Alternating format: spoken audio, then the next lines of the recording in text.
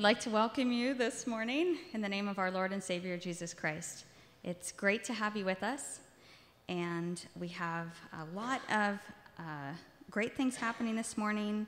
Check out in your bulletin. Be sure to uh, put some coins in the two cent a meal offering today. I think there's a bucket out there by the offering plate, and uh, that is one of the main ways that our denomination supports food insecurity around the world.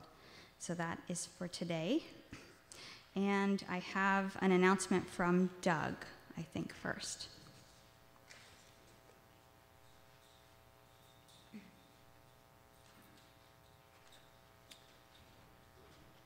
A couple announcements.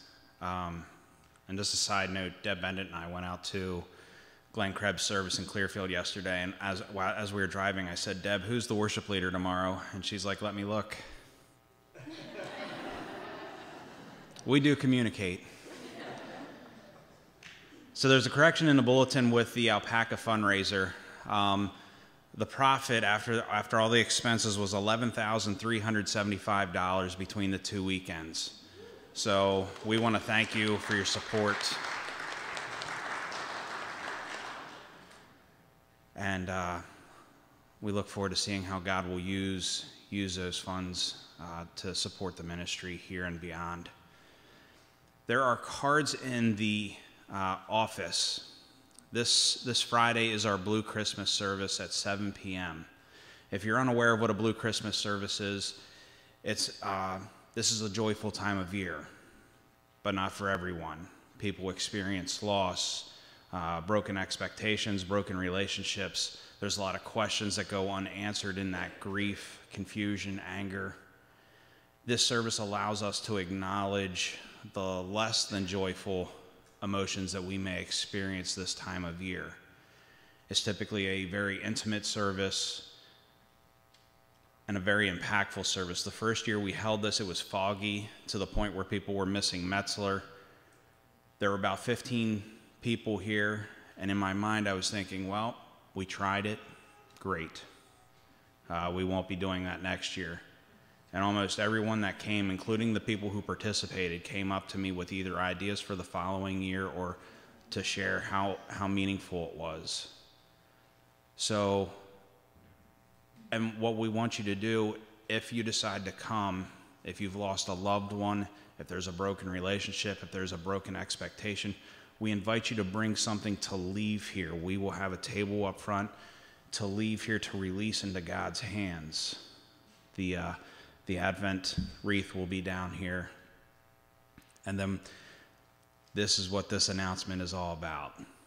There are cards in the office along the table. They're condolence cards, encouragement cards. We'd invite you to sign one, put a scripture in there, put words of encouragement, words of presence, so that as people leave, they can take something and when they get home, they can read your words of encouragement, they can read your, your words of prayer. Again, it's in the office, um, and there are pens there. There are about 10 cards there that you can sign. So just rotate around or, you know, pass them if there are more than, more than two or three people there. So thank you.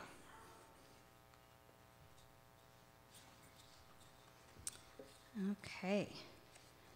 Um, Tom Connolly would like uh, us to remember that there are giving envelopes on the table. Please let him know if um, you would like to sign up for that.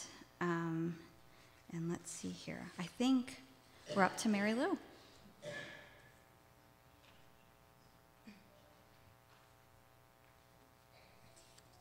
Good morning. Just a note uh, for anybody that's interested, we still have chili for sale, and it will be in the, I guess it'll, it'll be out here in the gym after church. I had a lot of good reviews from people saying it was just the right amount of heat. Other people said they added a lot of chili powder to it. So, whichever suits your fancy. At this time, I would like Doug, Geoff, Emmy, and Laura to come up here in front and stand on the lower floor, please.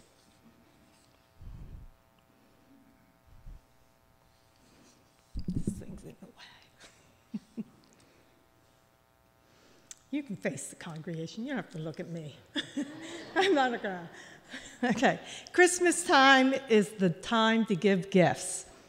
And we often think of people that do things for us uh, like a teacher or the bus driver, uh, people that help us out on our daily lives. As a member of the leadership team, I'm giving each of you a gift on behalf of the congregation of these four people. The congregation appreciates the gifts you share with us throughout the year. Here at Hempfield Church of the Brethren, we are blessed with pastors and leaders of our children's ministry team who sincerely love God and seek to do His will. Our leadership team has seen them in many capacities as our pastors and children leaders, as our colleagues, as our brothers and sisters in Christ. In all these roles, they remain steadfast to the call of God, not only in their position of leadership within the church, but in their personal walk with God. They are consistently sought to grow spiritually, not just as a church leader, but as a member of the congregation. They encourage one another, hold one another accountable, and lead the congregation to do the same.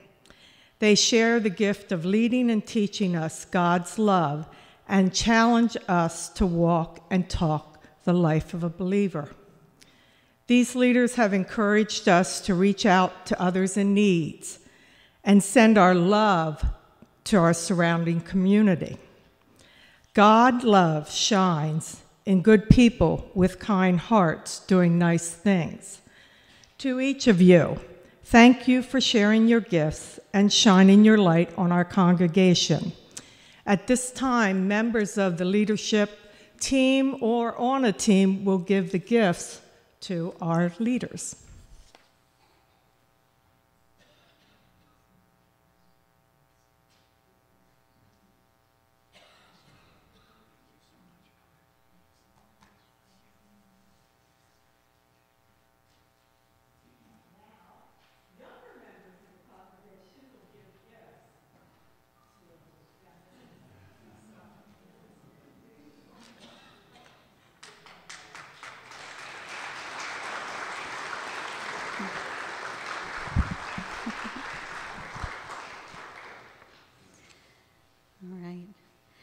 Well, today is all about joy. How have you experienced joy in your life? How long did it last? Have you considered joy to be part of God's gift to you? And how would you express it? Those were some of Pastor Geoff's prompts for us to think about this morning. I um, was part of a study here called Fight Back with Joy, Margaret Feinberg, and I'd recommend it. At first, when I heard the title, I was like, eh, okay. I, I wasn't sure how I felt about it, if it was like the toxic positivity type thing.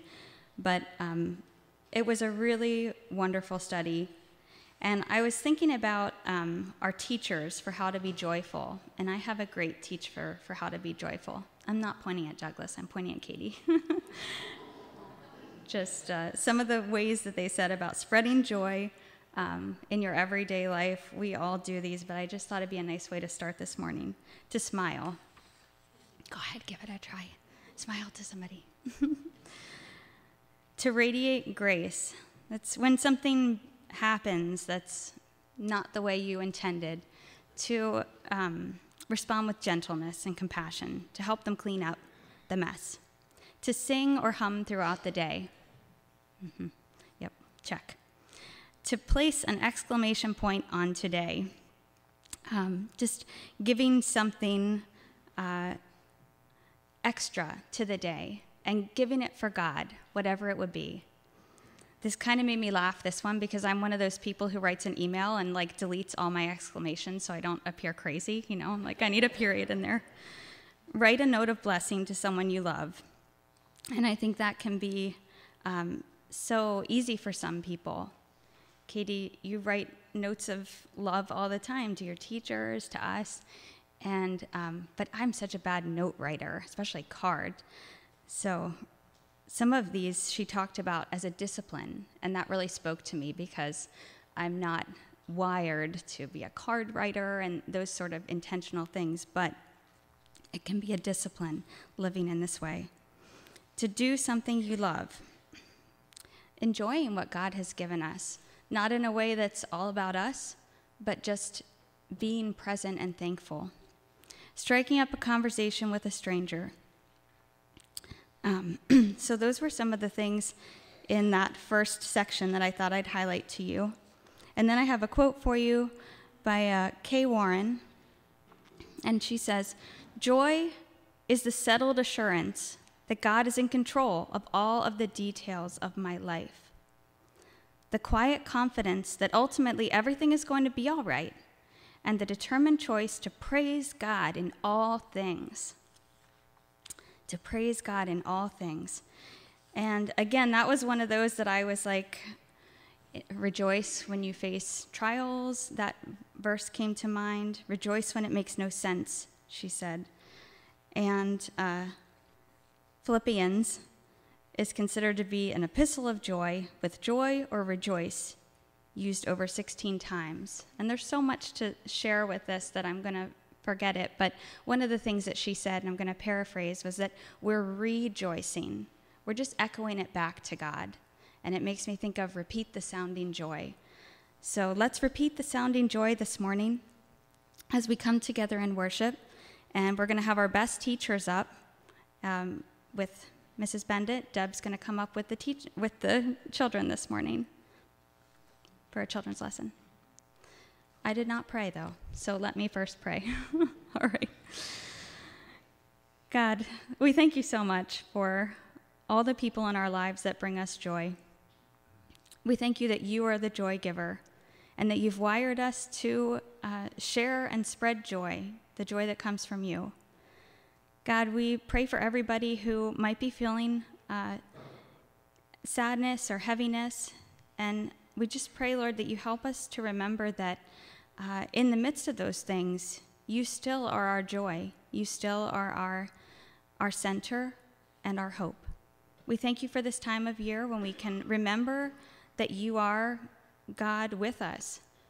And we pray that you help us to hold the joy of you in our hearts today, in these moments, and as we go forward through the week and this season. In Jesus' name we pray. Amen. Now, would Mrs. Bennett and the children please come forward?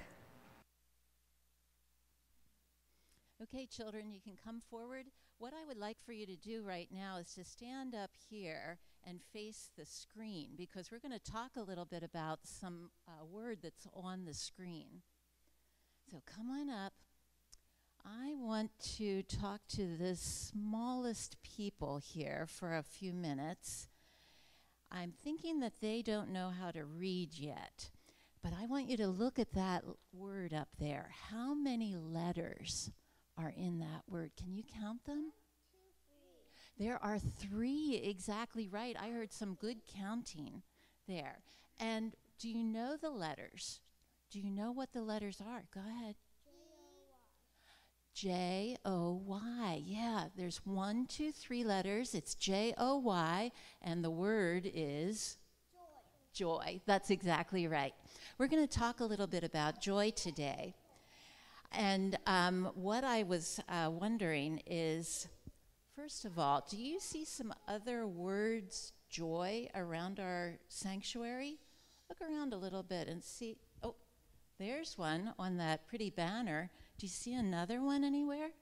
Yes, over there hanging up, and over there too. Joy, J O Y, one, two, three. Yes. Yes, I wanted to show you. Dave and I were at a uh, concert just about uh, a little over a week ago, and I saw on the merchandise table this t shirt.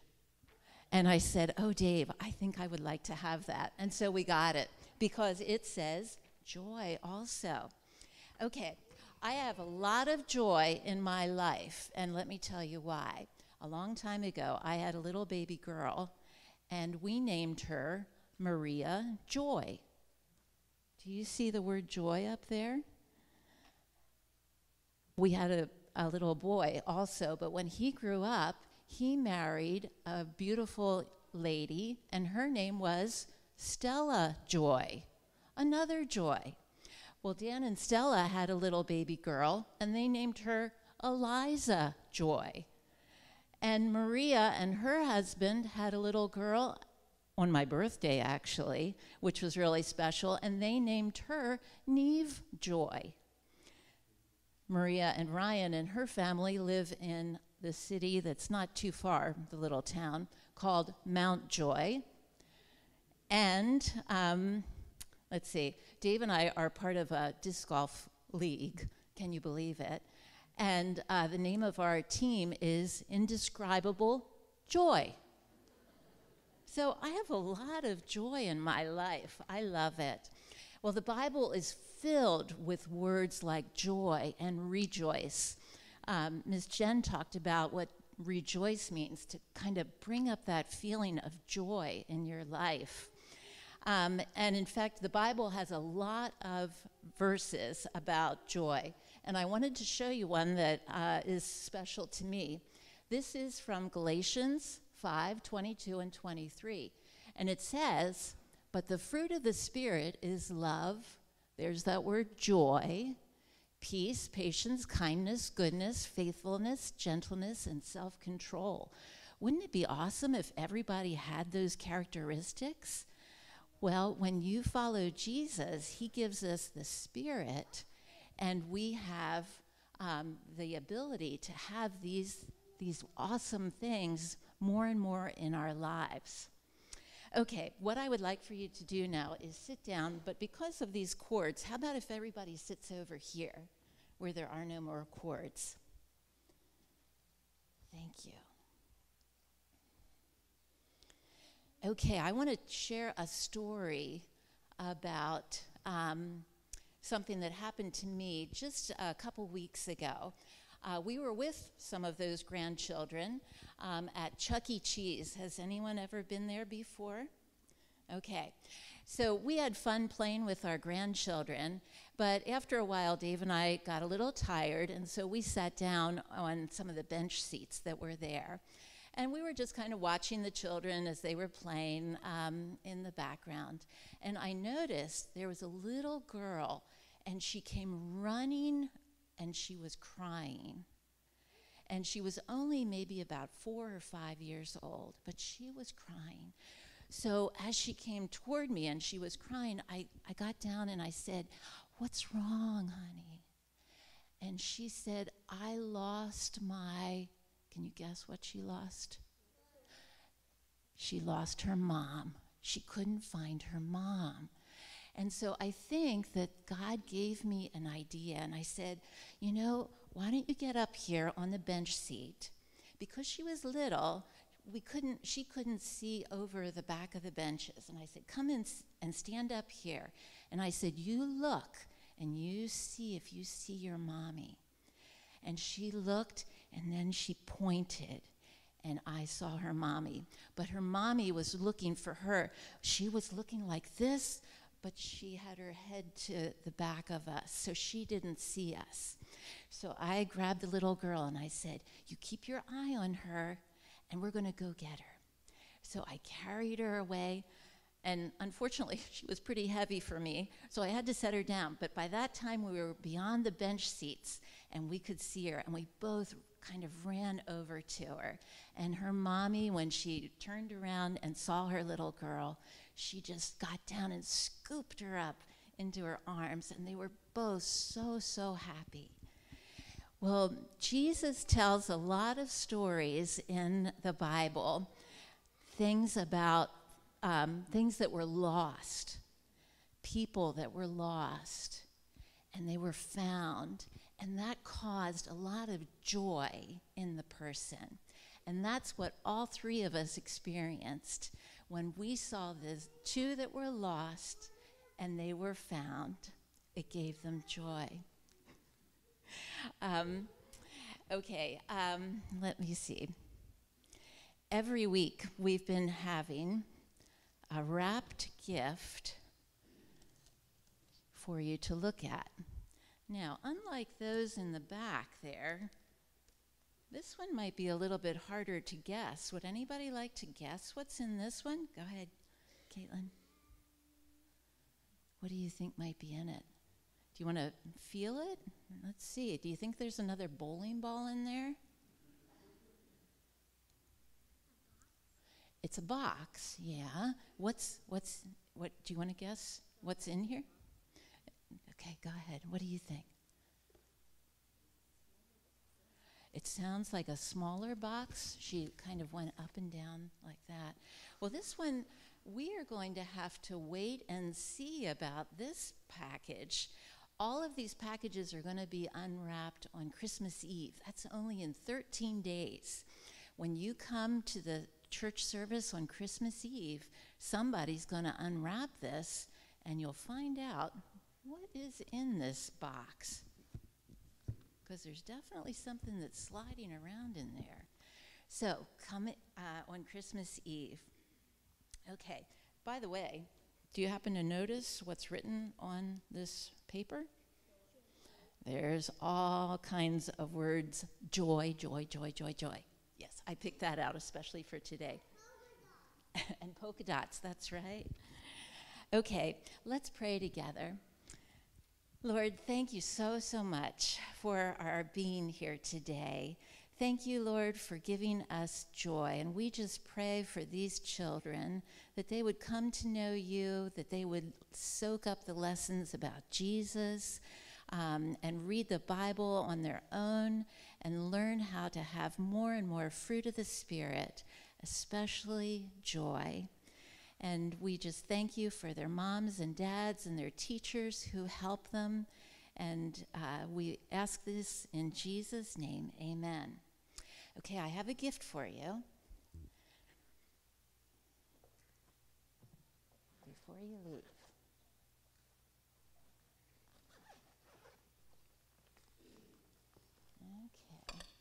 something nutritious. We have some grapes. Would somebody want to count how many? Well, first of all, tell the congregation what color are the grapes? Green and red. Green and red. What's sort of special about green and red at this time of year? It's for Christmas. And how many? These they're all the same. How many of each are in here? Caitlin? three green and three red. I wonder why I chose three green and three red. Does anybody have an idea? Go ahead. It does make six. That's good adding. Anyone else? Three? For the three letters in joy. One, two, three, J O Y. So here you go. You can have some grapes and um, you can go back to your parents and we're going to sing some songs. Listen for the word joy or rejoice in these songs too. I think you're going to hear it. Okay, you want to take one?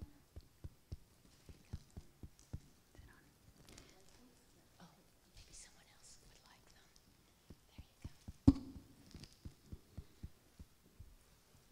There you go. Oh, As the children are returning to their seats, would you please stand and join us for the call to worship?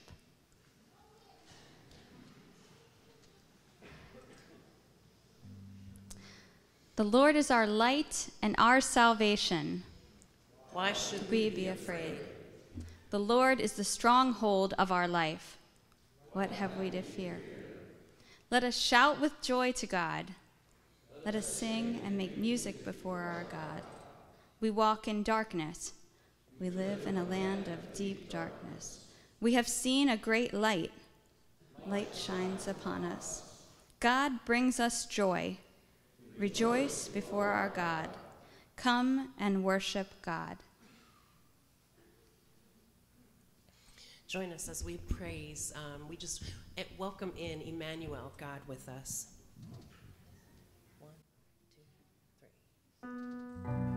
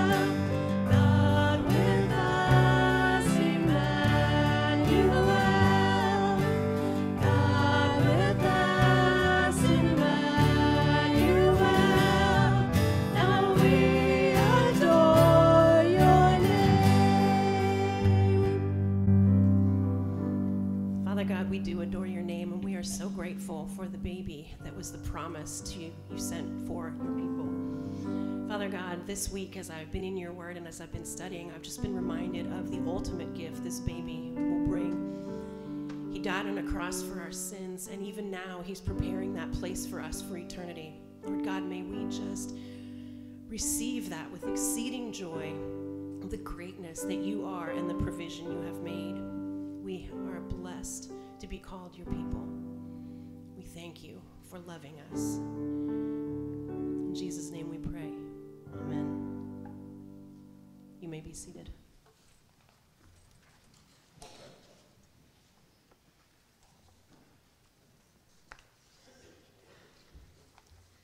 song, Beautiful Star of Bethlehem, that we're going to share with you, was requested by uh, Jerry Hurst um, one Christmas when we were doing Carol Sing online. And it was new to me but Rod knows it, so Rod is our beautiful star of Bethlehem this morning.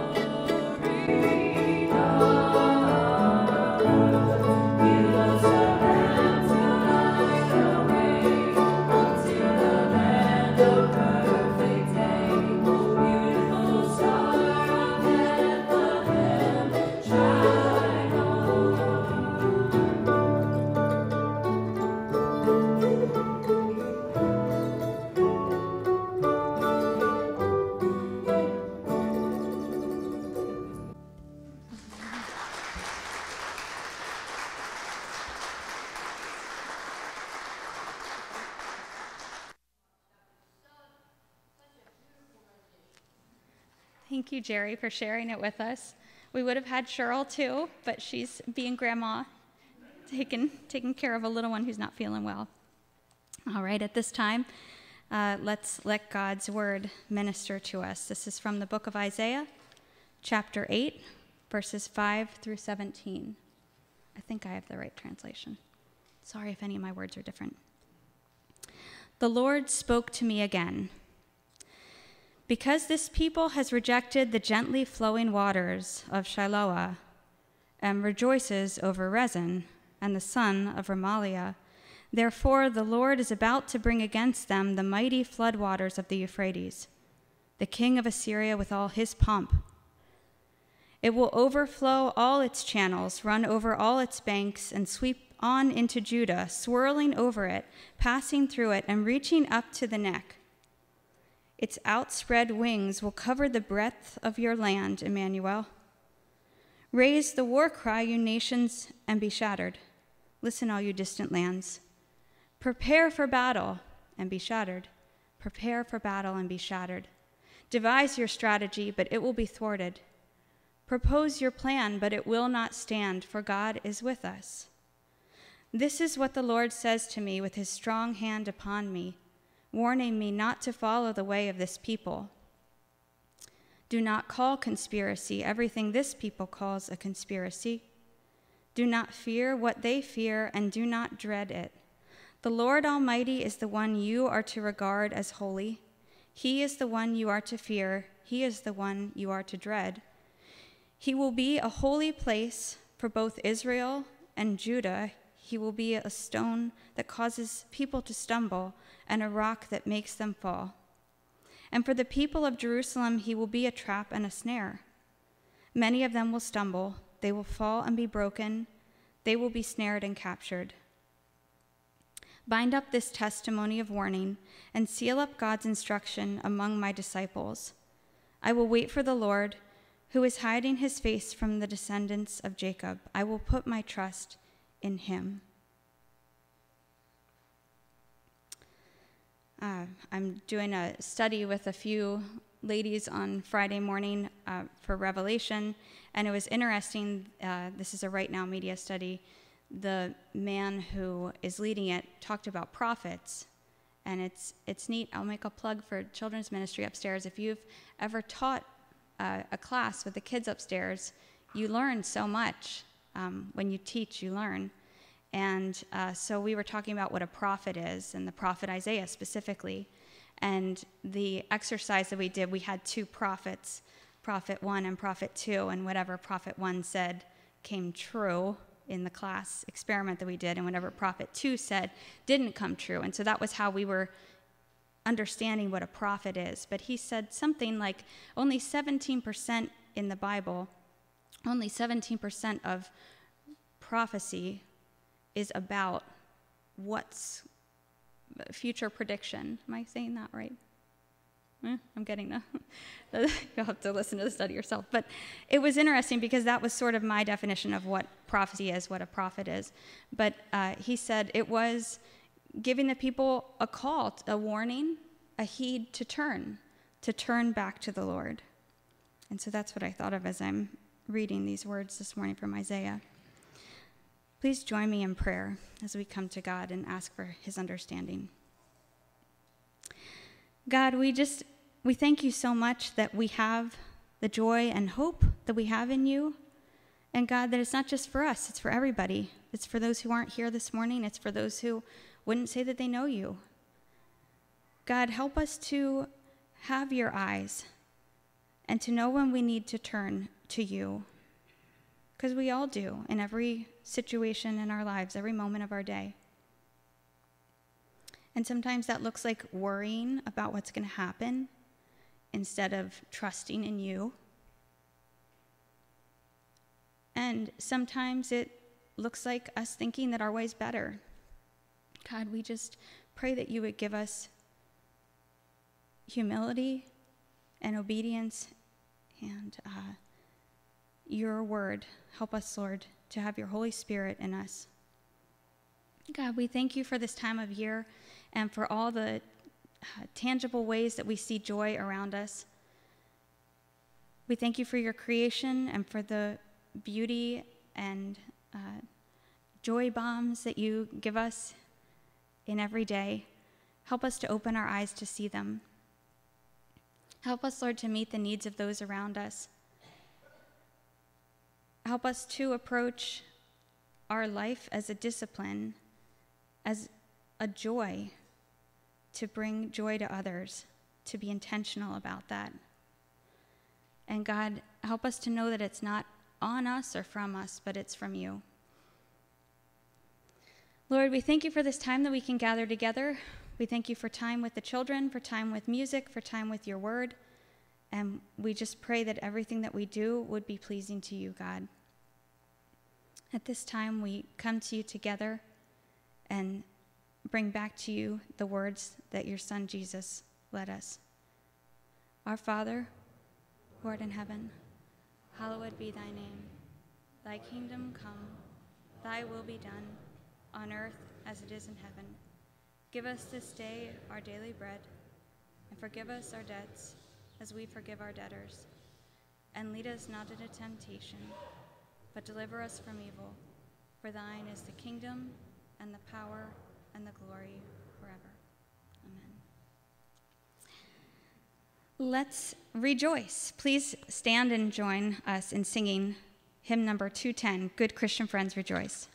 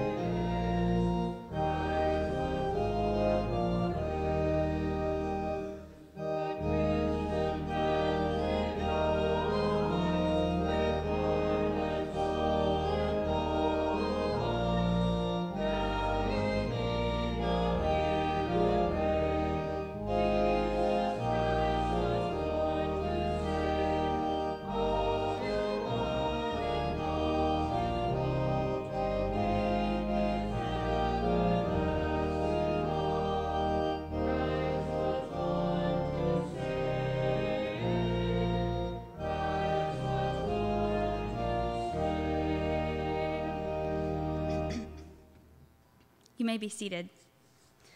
We continue on in the next chapter of Isaiah, Isaiah chapter 9, verses 1 through 7. okay. Nevertheless, there will be no more gloom for those who were in distress. In the past, he humbled the land of Zebulun and the land of Naphtali, but in the future, he will honor Galilee of the nations by the way of the sea beyond the Jordan. The people walking in darkness have seen a great light. On those living in the land of deep darkness, a light has dawned. You have enlarged the nation and increased their joy. They rejoice before you, as people rejoice at the harvest, as warriors rejoiced when dividing the plunder. For as in the day of Midian's defeat, you have shattered the yoke that burdens them, the bar across their shoulders, the rod of their oppressor.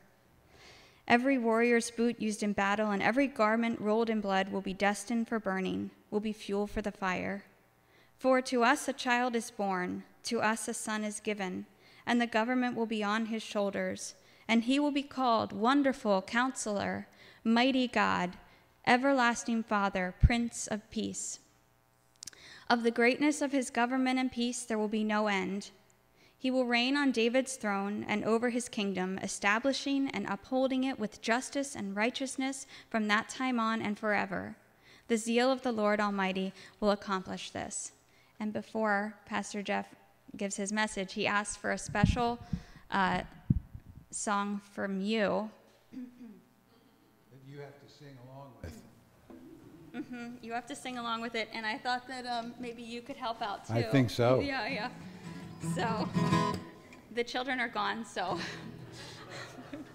put on your best uh, joyful. I've got the joy, joy, joy, joy down in my heart, and maybe you can do the where. Where? Where? Okay. Where? What do you think? He should be in charge of the where. We'll see how he does with that. We might have to make him repeat it. All right, we're just doing the first verse. Okay, are you ready? I've got the, The joy, joy, joy, joy, joy down in my heart. Where? Down in my heart. Where? Down heart. I've the joy, joy, joy, joy down in my heart. Where? Down in my heart to stay. You know, on the joy meter, I'd give that about a three. Not a five. No. Thanks, Jen. Thanks. We'll see if we can do better by the end of the message today. Joy. What the world is there to be joyful about today?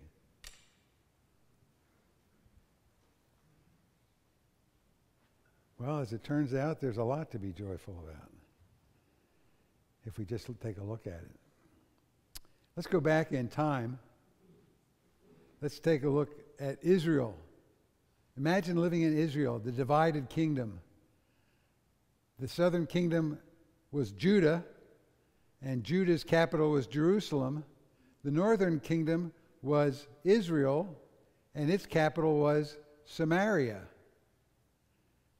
Do you start to see some of the reasons why people weren't too happy with the Samaritans? So this this uh, was a split kingdom after the people revolted against the heavy taxes that both Solomon and Rehoboam uh, levied about 975 BC. There was a split. So there was a split because some people didn't think they should be paying the taxes they were paying, while others sa- saw it as something that was necessary. Does it sound familiar at all? Threats from a powerful invader. The Assyrians were about to uh, come and conquer uh, Israel. Kings shifted from serving God to serving their own interests. There's a great uh, passage that's repeated throughout the book of Kings. In those days, there were no kings, but the people wanted them. And the kings who they got uh, became more interested in their own interests and their own self uh, aggrandizement than they did uh, in, in serving the people. Again, nothing similar to today. Despair, unhappiness, depression, fear, and anxiety must have been common. Must have been common. Must have been very difficult to live during those days. And God calls Isaiah. The Assyrian Empire threatened Israel about 740 BC. God calls Isaiah to become a prophet. A prophet, according to one source, is a person who speaks for God, calling his covenant people to return to their mission, as Jen said earlier. But he speaks for God. What he says is God's message to the people. Isaiah proclaims this to be a warning from God to a godless people. Ooh. So this is some serious stuff. Imagine hearing Isaiah's prophecy. Imagine that. Terrifying warnings of judgment and destruction, as in Isaiah 8 that Jen read. Imagine what that must have been like to, to hear that. This is what's going to happen to you. But then imagine, too, that um, there were uplifting messages of hope and prosperity in, in, in Isaiah 9. Isaiah 9 has some uplifting, positive things that are going to happen. Predicting the coming of the Messiah who would redeem his people from their sins. And that's what Christmas is about, right? Us remembering this. Isaiah 9 starts There will be no more gloom for those who were in distress. Gloom, an atmosphere of depression and mel- melancholy. You'll have my permission to look out the window right now. Gloom, gloom. Imagine that that's what it's like every day. That's the mood that people are in gloom. Distress, an oppressive state of physical, mental, social, or economic adversity. People are caught up in what's important to them, not what's important to God. But he's saying there's not going to be less of this. There's going to be no more gloom and no more despair. No more. None. Whew, sign me up for that. Imagine hearing that. How would you, how would you have reacted if you had heard Isaiah's words? Would you have said, What's this guy smoking? Is this guy for real? Or would you have had hope? Would you have changed your outlook on life? In the past, he humbled the land, Isaiah says. Ben Hadad of Syria conquered Naphtali. We find that in 1 Kings. 200 years later, King Tiglath-Pileser of Assyria had the, had the people of Zebulun and Naphtali deported to Assyria, including the people from Gilead and Galilee. This is really important. The people from Gilead and Galilee were deported to Assyria. And then they were resettled with a mixed race of Jews and Gentiles and colonized with heathens. The southern Jews despised those from Galilee. And that didn't change even during Jesus' time, 700 years later. But in the future, he will honor Galilee of the Gentiles. Well, Jen was talking about prophets and things coming true 17% of the time. Let's check and see. In the sixth month of Elizabeth's pregnancy, God sent the angel Gabriel to Nazareth, a town in Galilee, to, be, to a virgin pledged to be married to a man named Joseph, a descendant of David. The virgin's name was Mary. The angel went to her and said, Greetings, you who are highly favored. The Lord is with you. The future, he will honor Galilee of the Gentiles. Imagine the celebration uh, when this happened. You have enlarged the nation and increased their joy. increased their joy. Enlarged the nation. They rejoice before you as people rejoice at the harvest. As men rejoice when dividing the plunder. That's kind of a uh, serious image, I think. But, but this is the rejoicing that's going on. Rejoice means to express great joy. Biblical joy is one, one de- definition is a feeling of good pleasure and happiness that is dependent on who Jesus is rather than who we are or what's happening around us. That's where true, real joy comes from in the Bible, recognizing who Jesus is, what he means to us, what he means to our lives. Joy, rejoice, or joyful appears 430 times in the ESV. 430 times. And in the Old Testament, it appeared over 100 times with 15 different Hebrew words to describe what joy was. Francis Chan says the Bible teaches that true joy is formed in the, in the midst of the difficult seasons of life.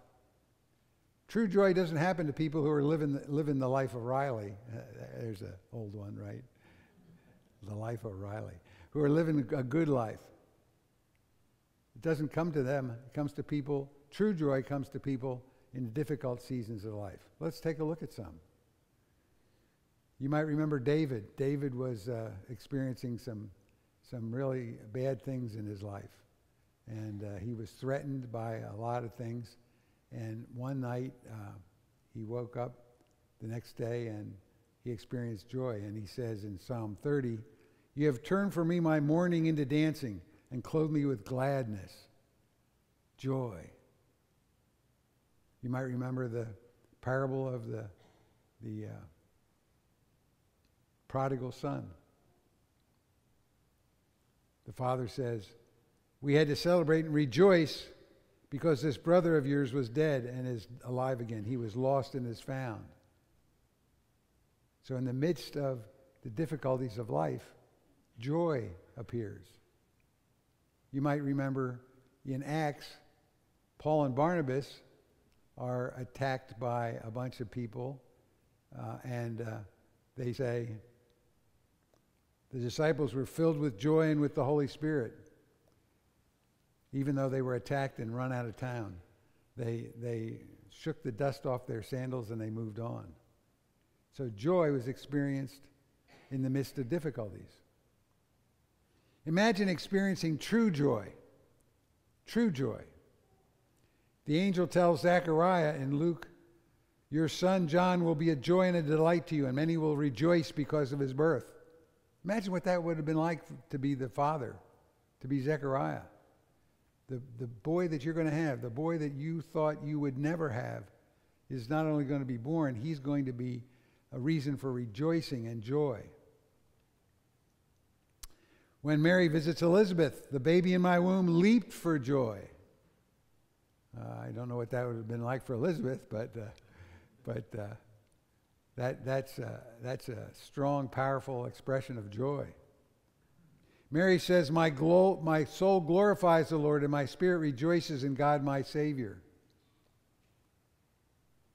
When John was born to Elizabeth, her neighbors and relatives shared her joy. The angel appears to the shepherds and tells them, I bring you good news of great joy that will be for all people. Joy. Joy is everywhere. People walking in darkness have seen the great light, Isaiah predicts. On those living in the land of the shadow of death, a light has dawned. Darkness is the weight of hundreds of years of oppression, and lightness is the rekindling of hope. What is that hope? Imagine seeing the light. There were shepherds living out in the fields nearby, keeping watch over their flocks at night. An angel of the Lord appeared on them, and the glory of the Lord shone around them, and they were terrified. But the angel said to them, Do not be afraid. I bring you good news that will cause great joy for all the people. Today in the town of David, a Savior has been born to you. He is the Messiah, the Lord. Now, those of you who are fans of the Messiah by Handel are singing right now, the glory of the Lord, right? Handel wrote the Messiah in 24 days. He, was, he went into his apartment in London on August the 22nd, and 24 days later came out with the completed Messiah. And he used a lot of this Isaiah passage for that. Imagine following the light. Imagine being one of the, the wise men. After Jesus was born in Bethlehem in Judea, during the time of King Herod, Magi from the east came to Jerusalem and asked, Where is the one who has been born uh, King of the Jews? We saw his star when it rose and have come to worship him.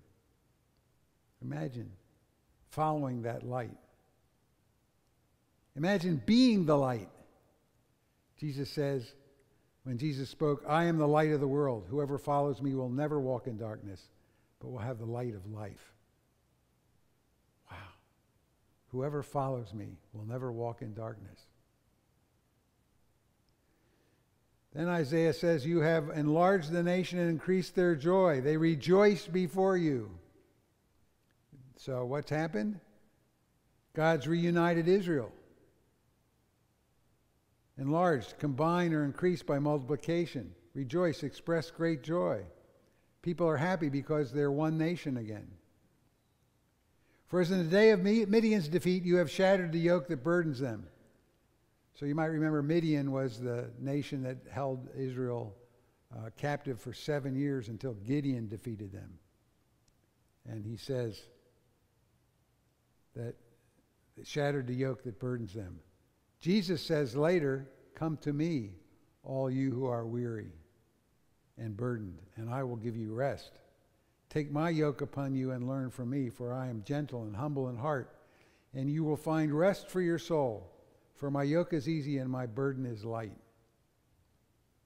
The yoke is shattered, a different yoke has replaced it. And then we have, For unto us a child is born, a son is given. The angel said to Mary, Do not be afraid, Mary. You have found favor with God. You will conceive and give birth to a son, and you are to call him Jesus. Luke later writes So Joseph also went up from the town of Nazareth in Galilee to Judea, to Bethlehem, the town of David, because he belonged to the house and line of David. He went there to register with Mary, who was pledged to be married to him, was experiencing a child, expecting a child. While they were there, the time came for a baby to be born, and she gave birth to her firstborn, a son. For unto us a child is given, to, for to us a son is given and he will be called Wonderful, meaning extraordinary, mysterious, or difficult to comprehend. He will be called Counselor, someone who gives advice about problems. Mighty God, having great power and authority. Everlasting Father, lasting forever. Prince of Peace, harmonious relations and freedom from disputes, the absence of war. I think that's one of the most powerful passages in Scripture. When we name somebody, God named Adam and gave him authority to name all the creatures. Now God is naming Jesus and giving him these names as well. He will reign on David's throne and over his kingdom establishing and upholding it with justice and righteousness from that time on and forever. Justice, being free from favoritism, self interest, bias, or deception. Justice. Righteousness, adherence to what is required according to a standard. Luke writes, The Lord God will give him the throne of his father David, and he will reign over Jacob's descendants forever. His kingdom will never end. Again, prophecy fulfilled. Jesus is the Son of God. You will conceive and give birth to a son, and you are to call him Jesus. He will be great and will be called the Son of the Most High. The zeal of the Lord Almighty will accomplish this. The zeal of the Lord. Excessive fervor to do something or accomplish some end. God is zealous. God is anxious to get this done. He is working nonstop. Nothing is getting in his way. This is his main focus. This is what matters most to God. Put something into effect entirely or thoroughly. Jesus said to them, My food is to do the will of him who sent me and to accomplish his work. We must work the works of him who sent me while it is day. Night is coming when no one can work. So again, prophecy is fulfilled.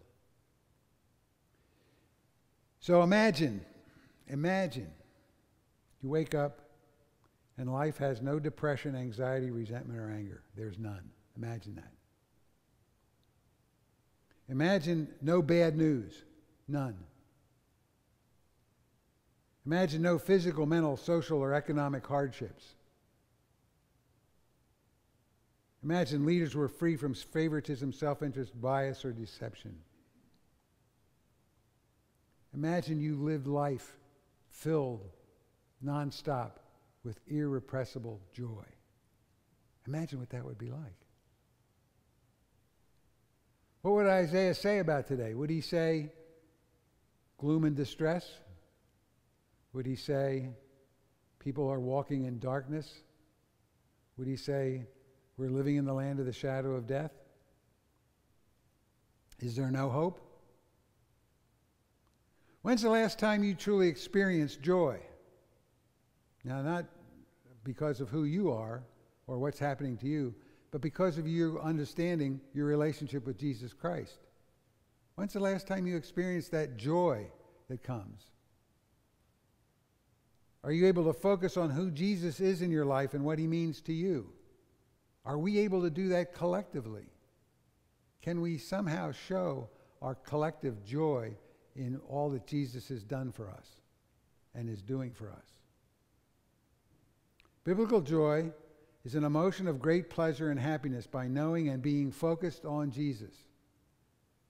living by faith in God's word, remaining in Jesus and in his Holy Spirit, enduring and content in all things. Last month I preached on contentment.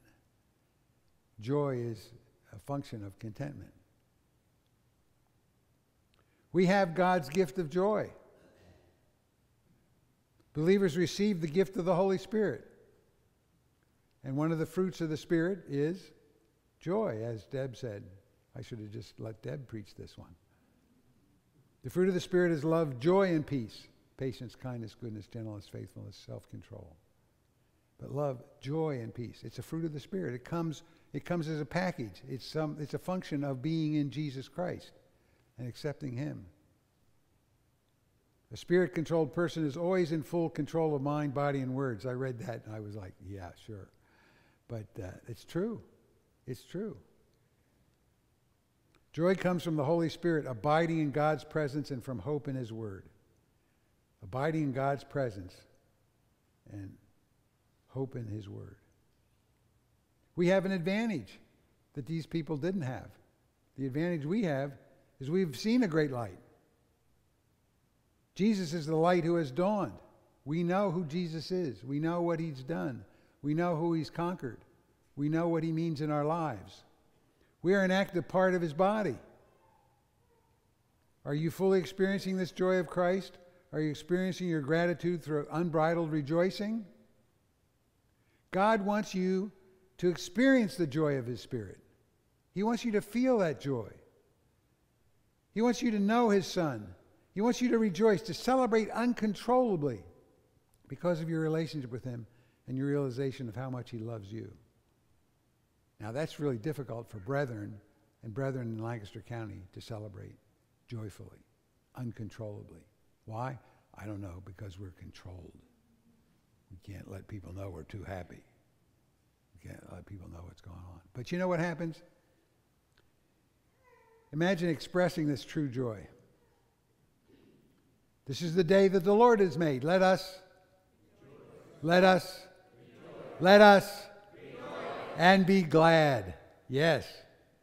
Yeah. So every fall, people gather several times to mostly rejoice in this place. Mostly. Right, out, Mostly. And every year, every game starts a chant. We are we are. We are. Thank you. Uh, thank you. You're welcome. Right. Good, good, good, good, good. Yeah. Well, we're going to try something today. We're going to try an experiment. We're going to divide this half of the congregation and this half. So this, this, you're going to be the we are, and you're going to be the God's people. Okay? So let's try this.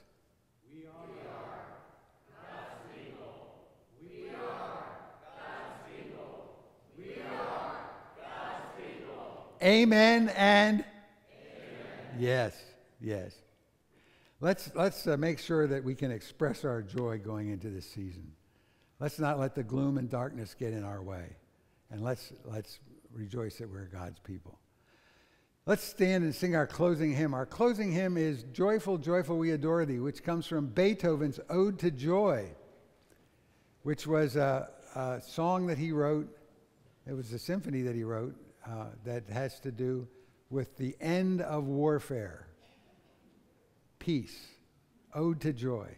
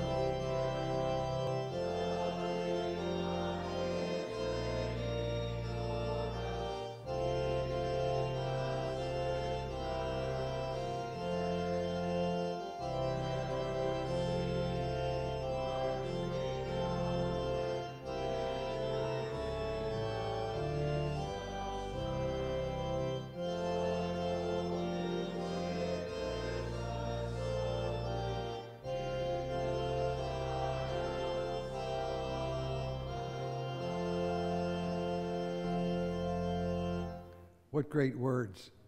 Joyful, joyful, we adore thee, God of glory, Lord of love. Hearts unfold like flowers before thee, praising thee, their Son above.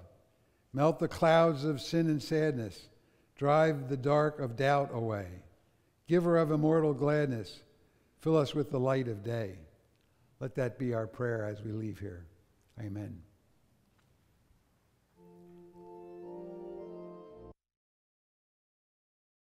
On behalf of Hempfield Church of the Brethren, we thank you for joining us for today's service. The grace of the Lord Jesus Christ, and the love of God, and the fellowship of the Holy Spirit be with you all. Amen.